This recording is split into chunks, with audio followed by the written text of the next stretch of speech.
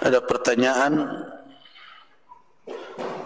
tentang emas yang dipinjam orang apakah masuk dalam hitungan zakat kita? Iya.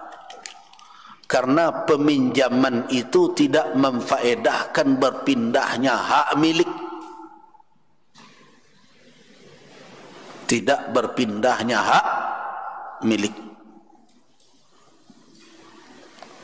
Apabila waktu berzakat tiba haulnya, maka pemiliknya diwajibkan untuk mengeluarkan zakatnya. Pemiliknya. Jadi jangan kalau ada yang memahami kalau dipinjam orang berarti itu bukan milik kita.